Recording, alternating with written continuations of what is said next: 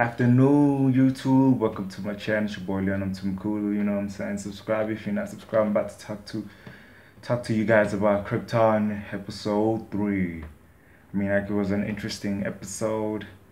It was basically centric around Brainiac's arrival, but there was also stuff happening in Krypton. You know, like the planet is still going on besides Seg's mission, you know what I'm saying? And finding the sentry, that's what it was called. That was that inhabit that woman who who had a child, who was living in the ranklessness people. I mean, like it was an intriguing episode. A lot of things happened, but the highlight moment was obviously the visual effects, the practicalness of it all, and the police returned, you know, like yo, like they didn't take it lightly though.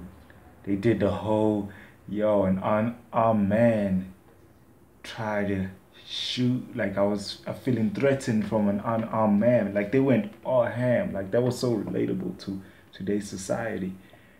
I mean like what can I say? And they Krypton army suit, like police suits, look on some altered, altered carbon tip, which I liked because I really liked altered carbon. But it was amazing to see how uh, the Zod girl, Lyta, didn't let it slide when that woman did what she did, which was admirable. Then we also got Adam Strange, who played a real big role in this, and you saw why because he couldn't exactly go home anymore after being braggadocious about his creation, he didn't know what was wrong with it. It was weird that moment, but it was it was a good episode. Like it was really good episode. Like show is getting better and better. Like television, animation, like it's a good time to be a Marvel or DC fan. You know what I'm saying? Don't mind the poster. Don't mind the poster. I ain't got a DC one, but you know what I'm saying? It's real. Understand